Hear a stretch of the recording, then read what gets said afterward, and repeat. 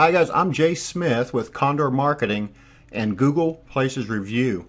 My brother Russ and I are bringing you these tips of the week and we're going to show you everything that we do to optimize a place's page so that you can show up on page one and be endorsed by Google and be in that top seven box.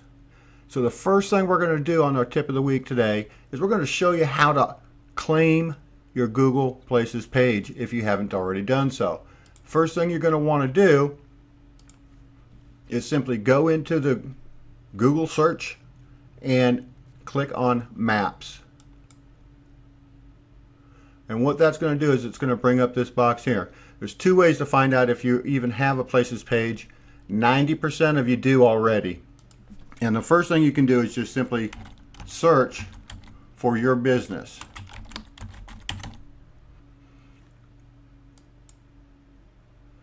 If you have a places page, it's going to show up on the left hand side here and you can simply click on it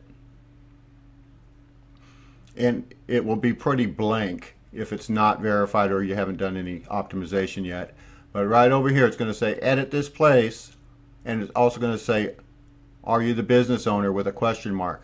At that point you would want to uh, click on this and claim your places page.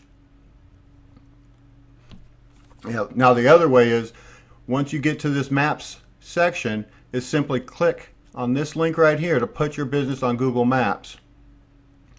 And what it's going to do is it's going to bring you to this page and ask you for, to sign into your Google account. If you do not have a Gmail account, simply create one right here very quickly and simply within five minutes and then come back and log in to your account.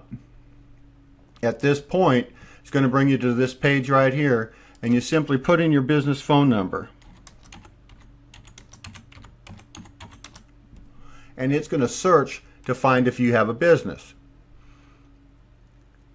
I put in my business phone number and it's showing my listing right here. If I don't see my business, you would simply create and add a new listing at this point. Now, I'm just going to go in and edit ours real quick because the first thing it's going to do is it's going to bring you to this page whether you have a listing or not. And it's very important, and this is the only thing I'm going to do because our next tip is going to be on how to do a basic setup. Very important, you only put your company name in here.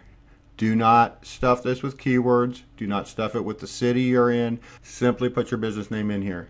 Okay, we're total white hat here, and we want to make sure that you get on page one and you stay there.